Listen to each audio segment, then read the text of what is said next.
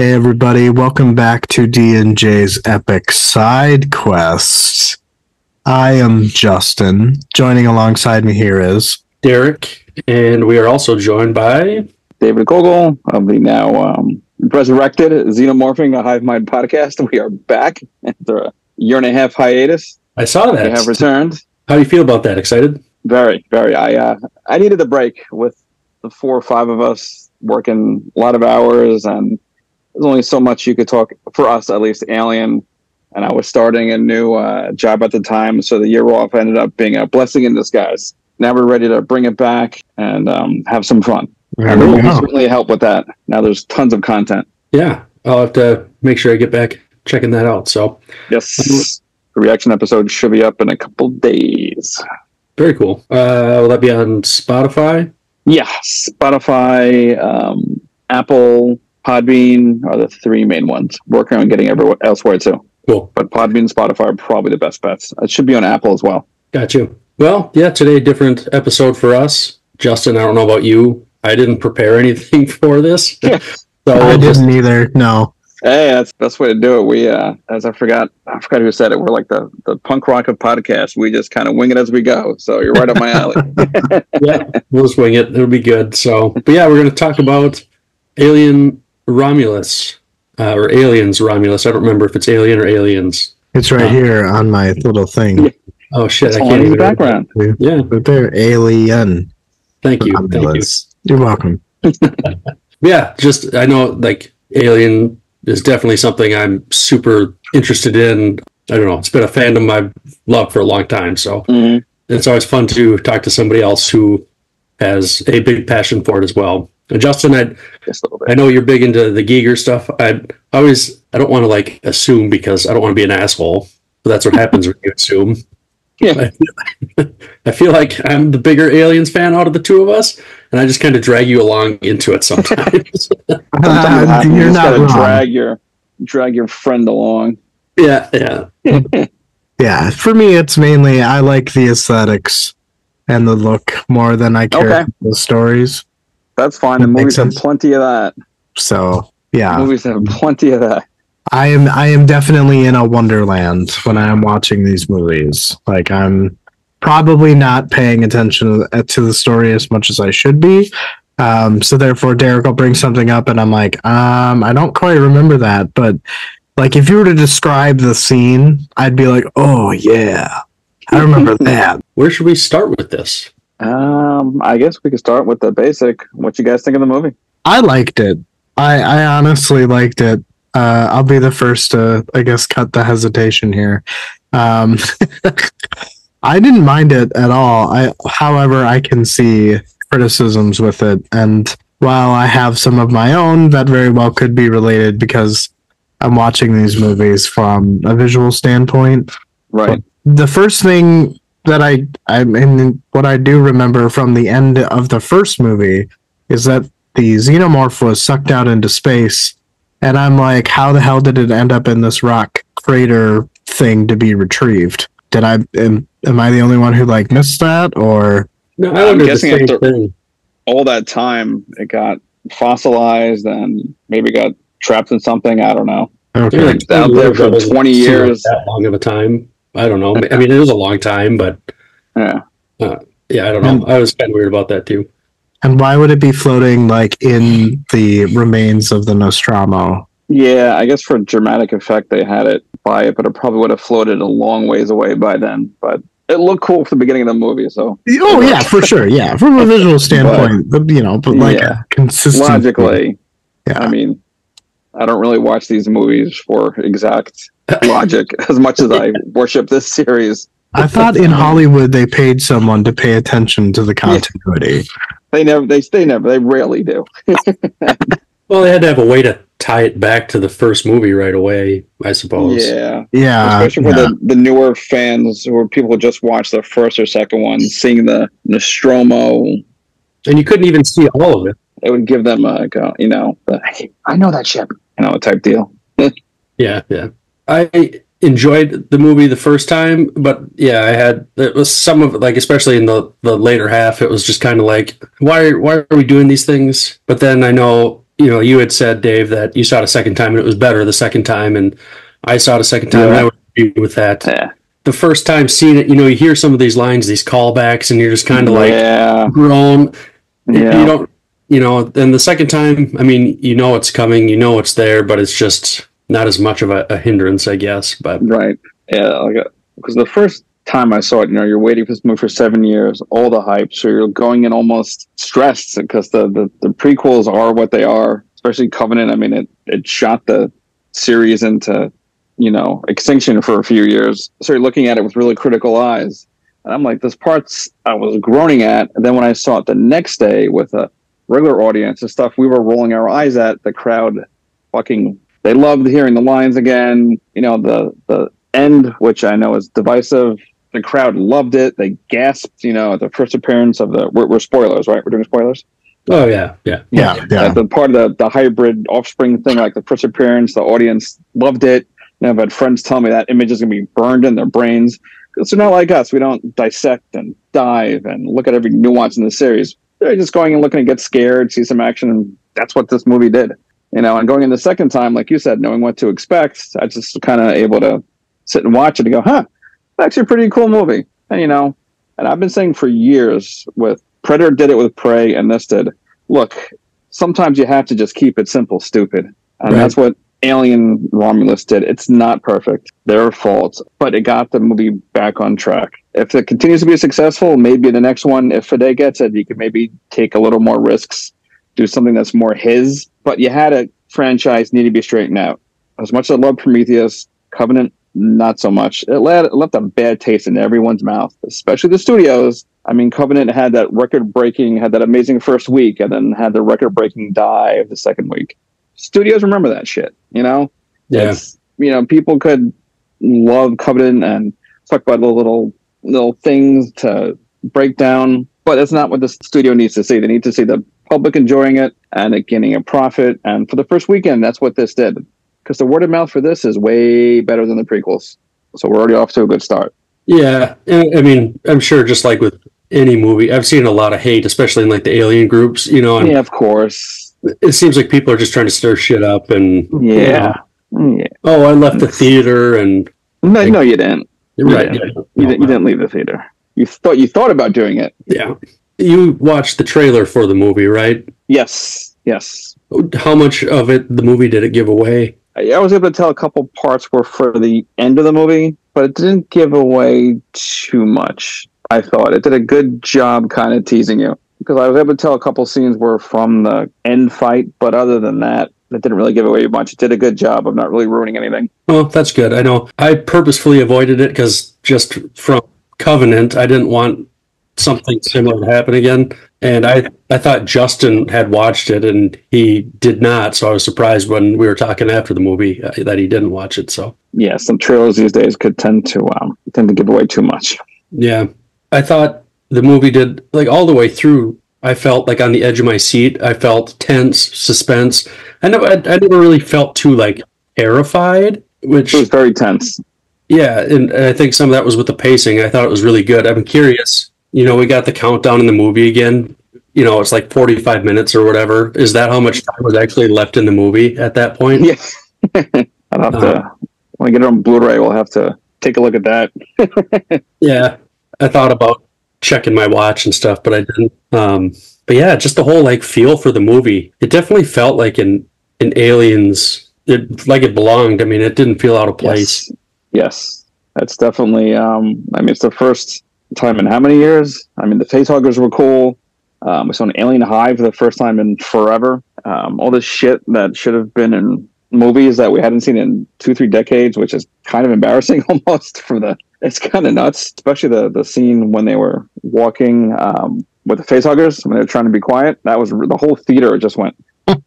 no one wanted to move. It was really cool. I'm like, nicely done. Yeah, that was a cool scene, and I kind of had like I was thinking about that. Like, I'm like, would this work? Because in the hive, isn't it supposed to like it's hot as shit in there already, isn't it? In a hive, Yeah, it's supposed to be hot. Yeah.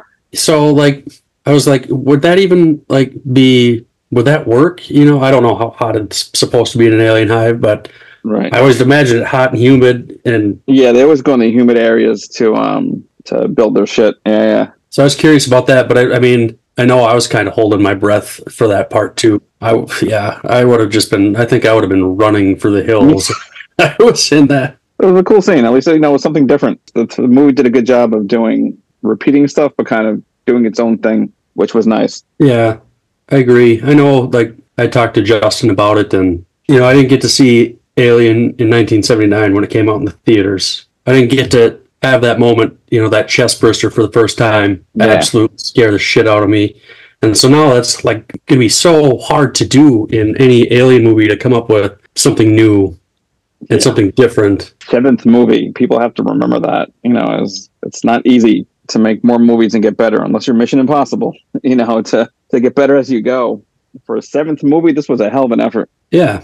Uh, I I mean, it was a lot of fun. It was fun. Yeah, and that's okay. Yeah. I mean, well, you want to have fun at movies, right? Yeah, Well, I think I think that it is extremely difficult to, I guess, add ingenuity and variety to these movies because, like, if you think about like the alien itself, when they refer to it as the perfect organism, it kind of is from a design standpoint as well. yeah, Because Giger did this amazing job of yeah, planning out the life cycle, the different stages, uh, the environment that it lives in. So, like, how do you take something that has already already been perfected and add to it? yep, yeah.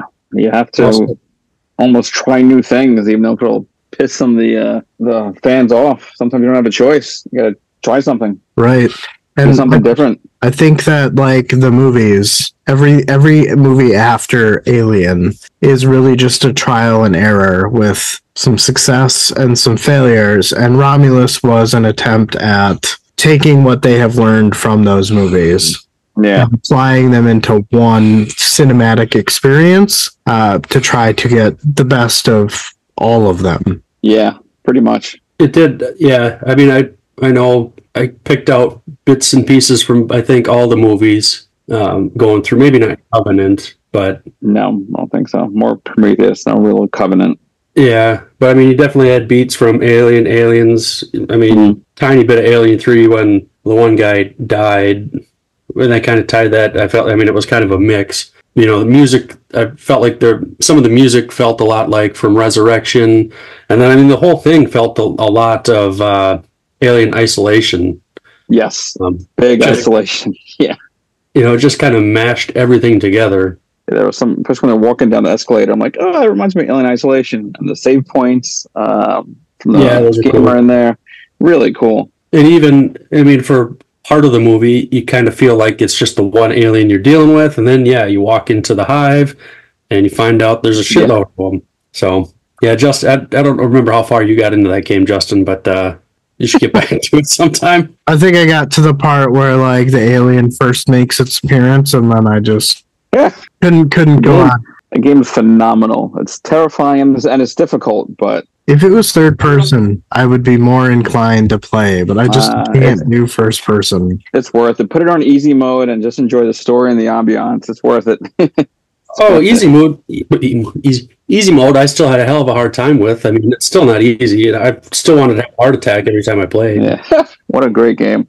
Yeah, after I got home from the movie, I'm like, let me re-download Alien Isolation. I'm like, let me bring that back. What uh, were some of the other things that you guys liked out of the movie? I mean, the set design was just incredible. I mean, it whole thing felt lived in. I mean, the colony, uh, Weyland-Yutani realized what absolute bastards they are. you know, Yeah, Rain's ready to get transferred out, and they she, she just doubles the amount of time needed and says, "Go go to the mines. We need you." Come on, everything is just everyone's struggling for to make a living. It, it really felt, you know, um, like Hadley's Hope before it got overran by aliens. Like you got to see kind of what it was like. The the creatures were really cool. Andy absolutely. David Jonsson killed it as Andy for that character. I mean, he was phenomenal. He was really good. I thought I thought for the most part the cast as a whole was really good. Yes, I know yeah. people were concerned about you know the being a younger cast and everything, but I, it didn't bother me any. I thought they were all really good. Yeah, no, they were fine. They were fine. It's not like they were young anymore. They, they're they're, they're mid twenties. It's not too bad. No, yeah, early to mid twenties or something. Yeah, What one thing I noticed both times when I watched it, what's her name? Kay Cat, the one that was pregnant pregnant. girl. Yeah. Yeah. when she's walking down that hallway after the chest burster, and there's like an electrical spark at the end of the hallway, and you can just see her like jump a little Mhm. bit, like she flinches. I don't know if you guys noticed that or remember that, but to me, it didn't feel like that was acting. I felt like that was like a real reaction. Like it actually scared the shit out of her, she wasn't expecting it.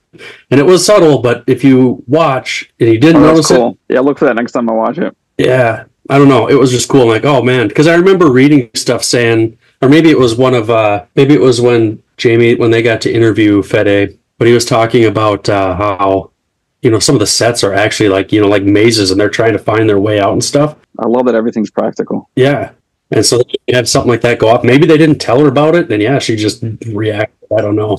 That scene was great too when the uh, the birth of the uh, the alien was really cool, really cool. And someone, one of the other guys, pointed it out that throughout the movie you could see the electrocuting thing. Can't God, I can't think of the fucking name. Stuck in the alien's head throughout the movie. The taser. Thank you, Jesus Christ. The Oh, taser shit, really? stuck I didn't in the alien's that. head throughout the movie. Yeah, Oh, yeah. wow. I didn't realize that either. I go, son of a I bitch, didn't I didn't realize that.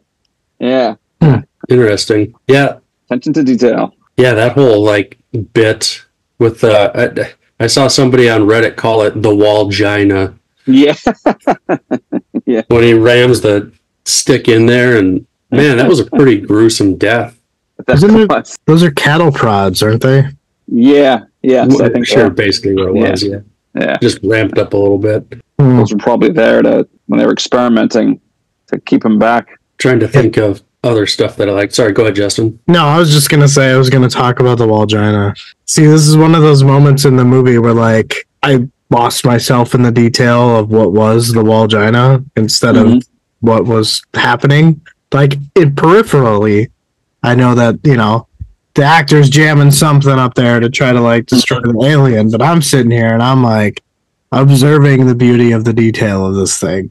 This Yeah. movie gave you a lot to take in, man. There's a lot of detail and so much, so much. I could easily watch this movie on mute and still take in, I still get enjoyment out of it. Oh, yeah, for sure. Between the ships and the costume design and the aesthetics, dude, there's just so much to eat up. I would imagine that like if the xenomorph was a legit thing and it somehow needed me for harvesting, I'd be like, "This is fucking cool," you know, like I'd be sitting there all strung up, like, Yeah.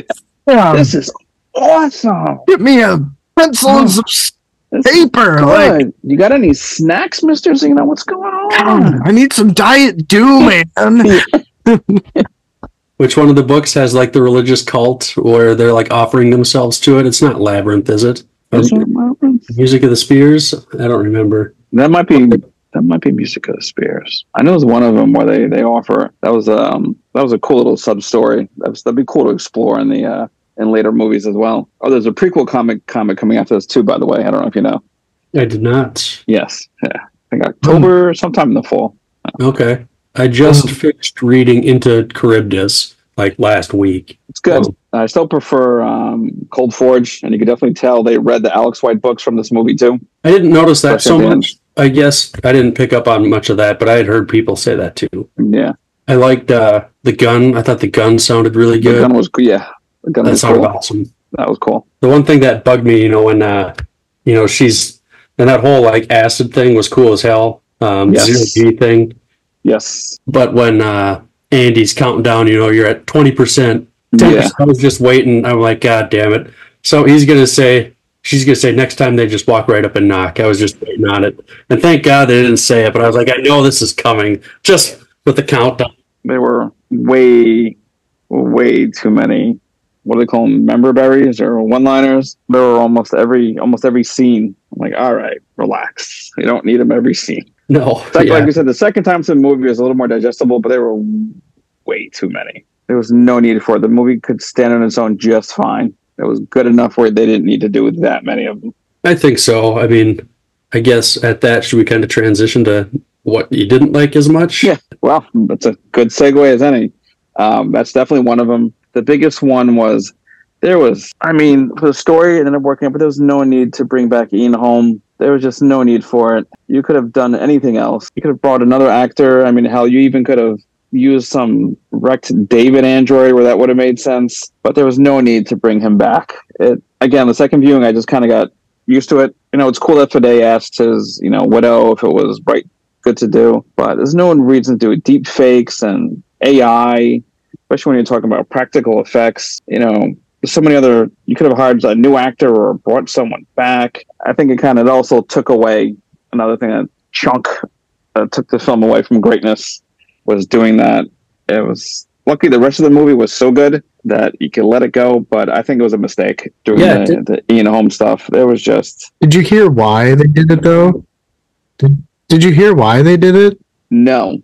Because uh, and I, again, I don't know if this I didn't like verify or like look into the, the validity of it, but apparently it was because Ian, before he passed away, felt like Hollywood just kind of gave him a cold shoulder. So Hmm. I believe that what they wanted to do with Romulus was like bring him back in a way that like you know did his character justice. Because you know Hmm. Michael Fassbender, there was you know he's in two movies. Uh, Yeah. Bishop did had some cameo or something like that. right. Um, so he was the only one who, like Android, that like didn't get kind of like a second appearance. So this is, so they asked his family, like, "Hey, can we do this?" And they're like, "Yeah, well, he would love that." You know. Oh, so okay. so I think it, it's one of those things of like a limitation of technology, um, but the intention was so pure, and the compassion for him as an individual and the role that he played in the original Alien movie was enough to outweigh the technical limitations. And Right. No, that's cool though. I didn't know that. That's very cool. a hundred percent agree. Like that technology is not quite there yet. You can see it with you can see it with Carrie Fisher and the Star Wars stuff. You know, you you can see it with the Admiral and the Star Wars stuff. It's just not quite there yet. But I think that looking at it from like, hey, the only way that we're gonna get better at it is to just keep doing it. It's gonna be awkward, but we're gonna make leaps and bounds with what we learn because of all of the criticism. So I think that yes, it's a really shitty point in the movie and really confusing, but we should uh, ad- admire the bravado in in trying to At, at least the the reasons for doing it were good. yeah So that's not often seen in these Hollywood parts these days. So that that's cool. That gives it a different perspective when watching it. yeah Well, yeah, absolutely. I wish they would have at least given him a different name because I, I'm fairly certain that Rook is a character in one of the extended universe novels. That's like a, Is it? a bishop, like twin with, you know, Oh Rook, shit! I think you're right. and I don't remember which one it is. Pretty certain of that. So I don't, Huh. if anything, yeah, they could have just gave him a different name for it. But Unless Yeah, that was was- the intention, a nod to the comics. Maybe he was doing. Unless I'm reaching here. you know, maybe that was. yeah, I don't know. That's, yeah, the whole bishop or bishop Ash thing. Even like when you first seen that half of him just laying on the ground, I'm like, oh, that kind of You looks know. like him, you know? Yeah. And I was wondering, but that Justin was sitting next to me. I mean, I jumped pretty hard when uh, he grabbed grabbed the desk. Cailee Spaeny when he grabbed Rain. The That movie had some got good me. scares. I saw the audience jumping on some parts. I think the big the hard part for me, the criticism I have is with the the humanoid hybrid or whatever you want to call Mhm. it. Uh, I really wish that it was not the engineer's face. Okay. I wish that it was something else because it just it looks it just looked very dollish, very Right. you know. Everything else has this like really complicated, you know, design to it, but then the face is just God, it reminds me of like uh, AI robots or robots or whatever the hell that movie with Will Smith, Will Oh, Smith is. I, yes, Robot? yes, I remember. Yes. Yep. Yes. I Yeah, robot. Yeah, exactly yeah, what talking about. Yeah. Yeah. yeah, it just had that like blank face and like there's not very much detail there. And I'm like, okay, I get that they're going for the engineers, but at the same time, it's almost like you start with the engineers and then uh, you get the aliens and then you know you have the hybrid stuff going back and completing the circle it's just like i don't know if that's really how evolution works or procreation works like yeah.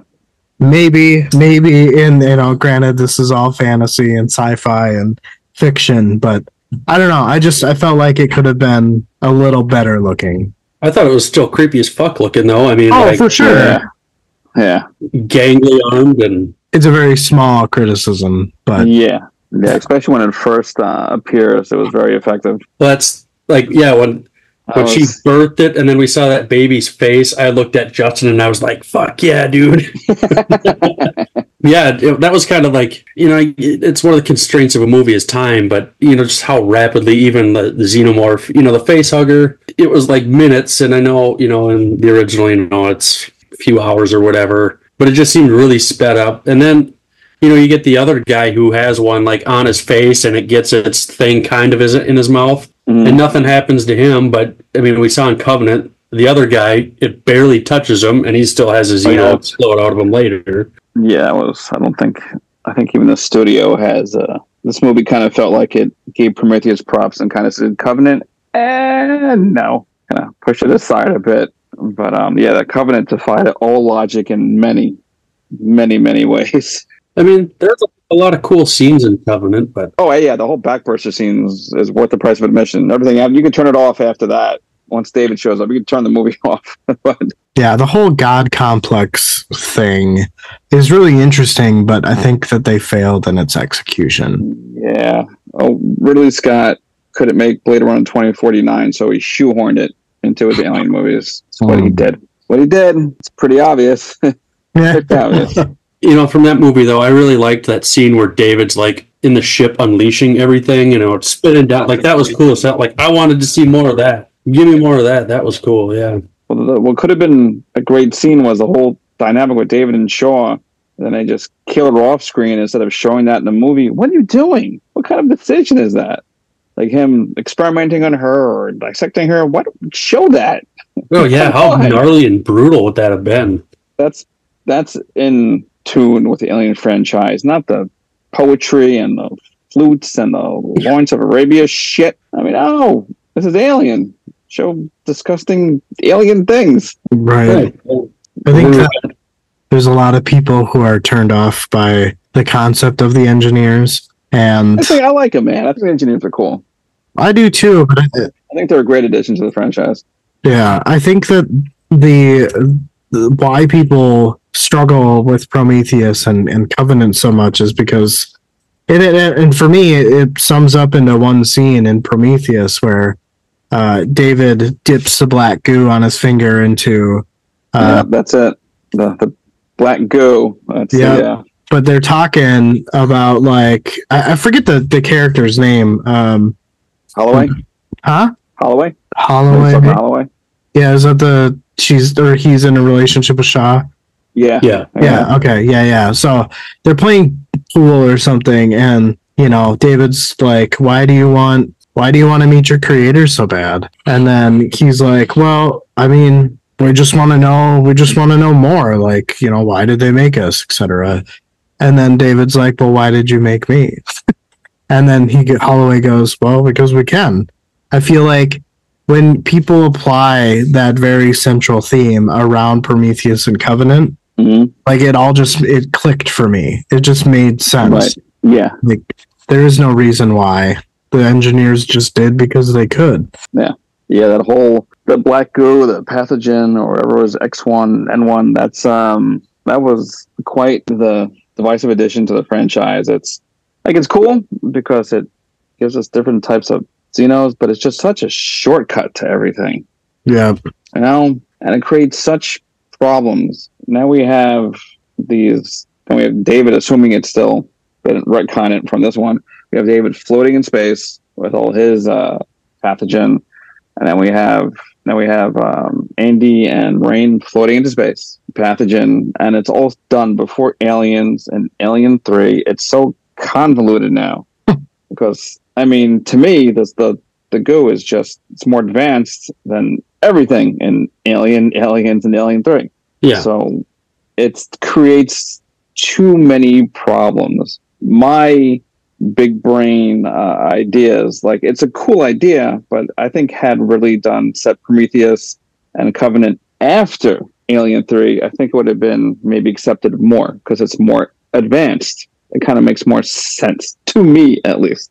You have this black goo which accelerates everything. All right, so they figured out after you know Ripley dies or after aliens, whatever. To me, that makes more sense. But now you have everything set before, and you're just leaving open for the story just to go everywhere and not make any sense. You have all this stuff happening while Ripley's floating in space, or while it's before she even you know faces them again. There's just so it creates so many holes. This shit. I think it's a cool storytelling idea, but it's just it creates more problems, as much problems as it fixes. And now we have this TV show coming that is supposed to take place like two or three years before Prometheus, right? that's a ballsy move. I mean, jeez, I don't know. They're they're treading dangerous ground, but this is I don't know. We'll see. Noah Hawley's really good, so I trust him. But, I don't um, know that I've seen any of his stuff, but I suppose you know, big risk, big reward. Hopefully, yeah, hopefully, because yeah. So yeah, because it said a year or two before previous. I'm like, oh, fingers crossed. what did you guys think of how the Xenos looked in this movie? Pretty badass. I thought they really did a good job with the design. The, um, I mean, I said look a little bit different since they were, um, you know, for lack of it, but they were engineered. You know, they created them from the the big chap, pretty much. So it looked different. They they looked terrifying. They finally made the face huggers scary again, skittering along the walls and coming in Yeah. groups. Fast. They were fast. They had the they had those there's almost like mandibles on them for you know to, to grip around the neck more. Um, the chest burster scene was great. That was really cool in 4D, by the way. In 4D, when the chest burster was coming out the back of the seat, it went thunk. Oh Punk. shit! It was Oh. awesome. yeah, it was sick. Um, the adult Xenos looked really cool. Uh, no complaints, really. And of course, it was all practical, so they looked really good. No complaints. I didn't. I guess my only minor complaint would be like their teeth. I didn't like how like metallic-y they looked. They almost looked like you had, they had like a grill Right, a little bit, but right. pretty minor. Yeah. But it's. I mean, I agree. They look. Other than that, I liked them, and I mean, it seems scary, especially again when the uh, you know the pregnant girl. Man, she had a rough go in that movie. She I don't know. this. Oh She- my god! She might have had the worst of it. Think of that. She had a she had a rough time. Jesus. You know, gets used as watch watches this thing explode out of her friend. Yeah. It's used as bait, Bait. which like that was scary as hell. That was a great scene too. When you see it creeping up in the uh in the dark and then swoop down behind her. Or even when it's on the catwalk above her, Like Yes. Yeah. Man, like, that thing had to see her. I mean, I'm sure it knew she was there. Yep. I didn't envy her at all. No. Then hung up on the wall, left for dead. Then she gets tricked into using the accelerant, thinking it'll help her. Yeah, that was like, why did you do this? Don't Yeah. do it. No. Yeah. Then get birth a alien xeno hybrid engineer baby. Then get killed by it. Really a rough day. It's an all time bad day. So uh, I know I okay. I don't know what you guys thought of. Like I, so people or they said like you know there's a scene so disgusting in this movie. The cast and crew were like they had to look away. They were disgusted by it, and it was obviously that. I didn't really know what it was doing to her. If it was like like was it breastfeeding on her? Because I've I've seen people thinking both ways. Like it's just eating her, and they're like no, it's you know breastfeeding off of her like an infant basically. You know because she yeah, sticks her hand that's down her I think it shirt. doing. I, I don't know. I didn't. Yeah. I wasn't really sure what to think. I, I mean, it wasn't. I guess you know maybe that would have been too far if they would have been more explicit filming something like no, that. Oh yeah, that would have. I think it was breastfeeding. But just the angle that you had, it was hard to tell. Yeah. Didn't know Yeah. for certain. But what about the? I think the you know the infamous line. We haven't touched really touched on that. The get away from her, you b- b- b- bitch. Yeah, yeah.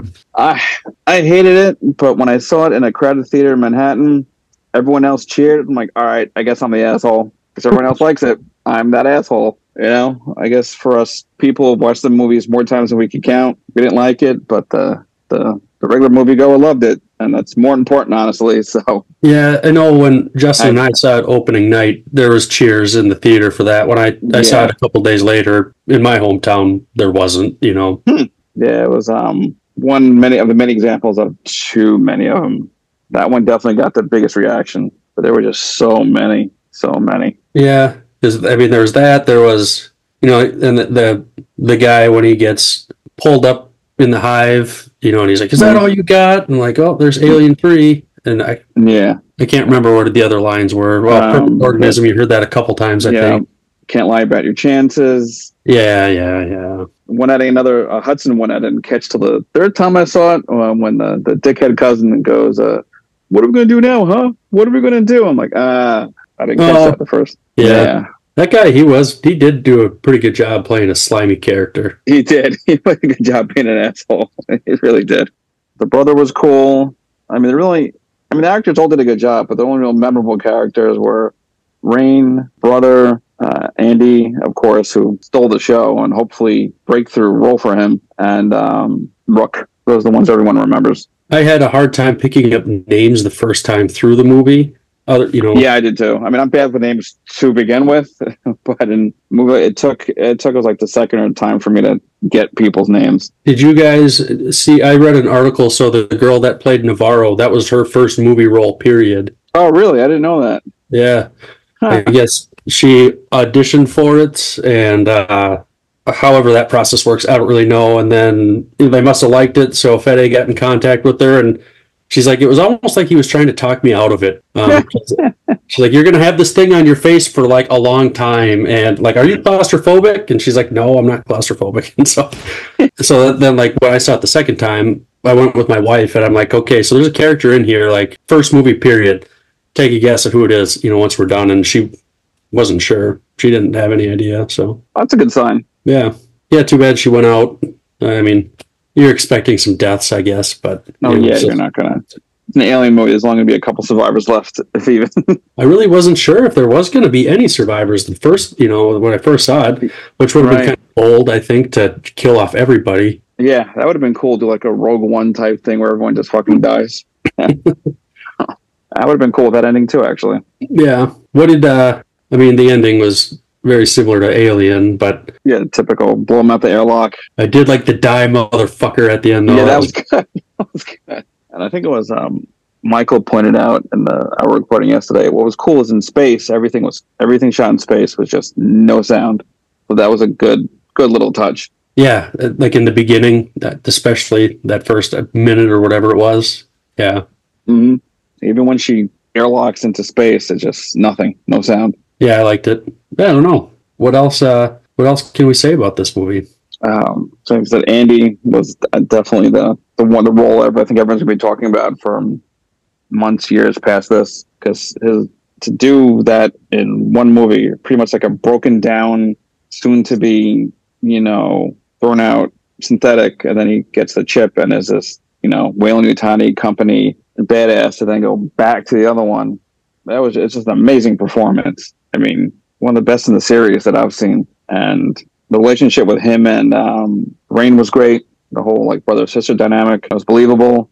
Um, the way they cared for each other, that I think is going to really stand out too. Other than the you know the the action and the suspense, you know, I think um, David Jonsson's Andy is really gonna really gonna turn some heads. Yeah, I hope. Yeah, I mean, they obviously left it open for another movie, Well, of course, and uh, yeah, uh, so I hope there is another one and he returns. But I mean, even I thought Cailee Spaeny was really good, and obviously she was, yeah. had beats of Ripley, you know, especially towards the end. But I like uh, that didn't bother me at all.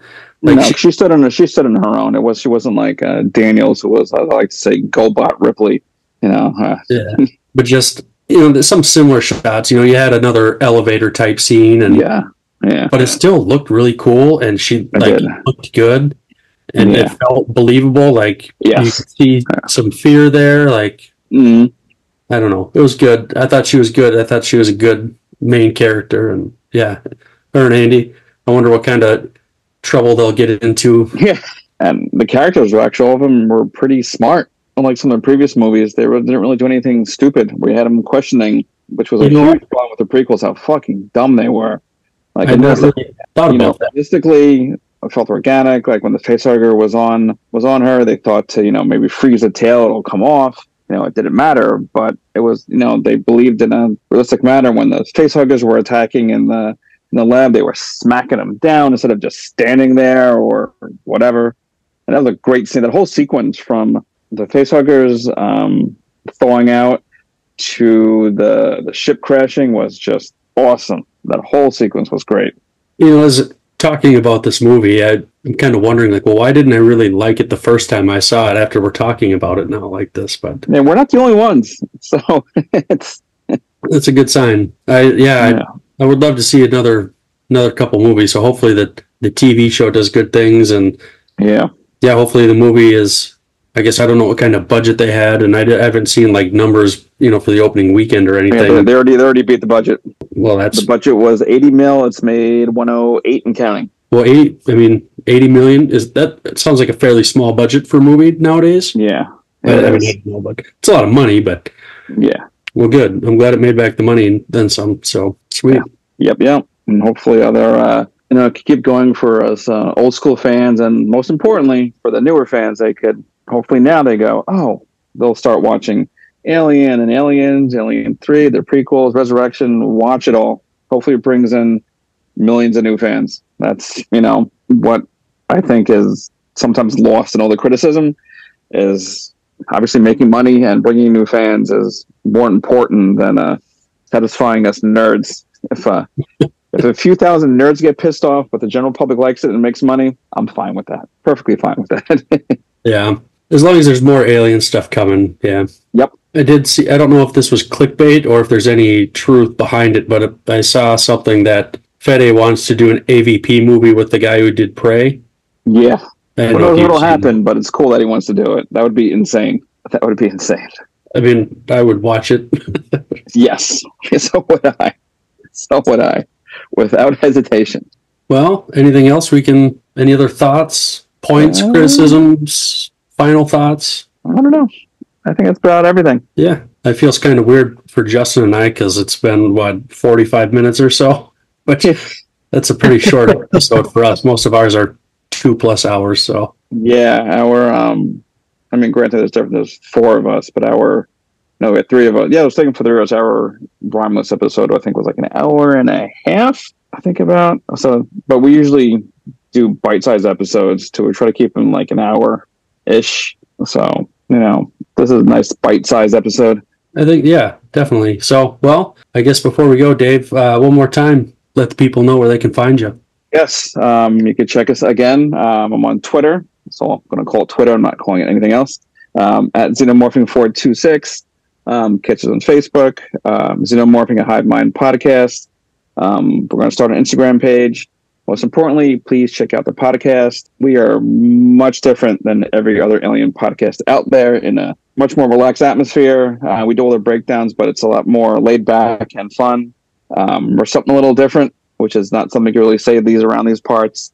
Um, you can listen to us on Spotify, Podbean, and um, Apple Podcasts. So check us out if you want something a little different. I will make sure I check you out. Um, I don't remember if I've really listened to your stuff in the past because I used to listen on Google Podcasts and now that's gone away. So I've been forced into Yep. Spotify. So Yeah. Yeah. this is a good reminder for me to look you up there. So I'll check it out. Yes. Yes. Do do. Please do. Please do. And I'll actually be on the Perfect Organism podcast, recording with them on Wednesday for their reaction episode. So I'm making the rounds. It's good to be back. Well, it's good to see you back around and I'll, Yes, I'll listen to that when it comes up too. So Thanks for having me, guys. yeah, Awesome. thanks again for t- taking the time here. Sorry, Justin, I didn't mean to interrupt you. Oh, I was just gonna thank him for his time. That's all. No, of course. Anytime. You guys are great. Thank awesome. you. Well, have a good night, Dave. Take it easy. You too. Have a good one, fellas. See you guys.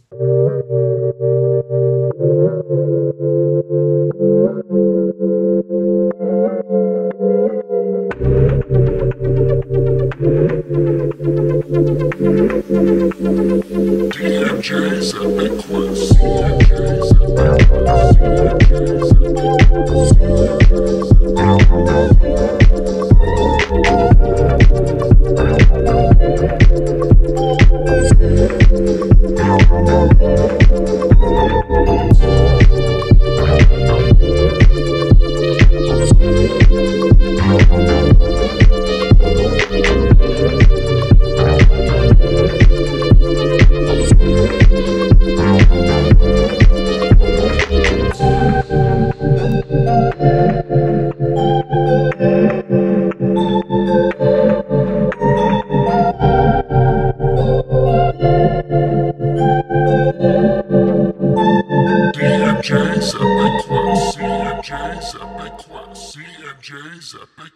CNJ's. CNJ's Epic Quest. CNJ's Epic Quest.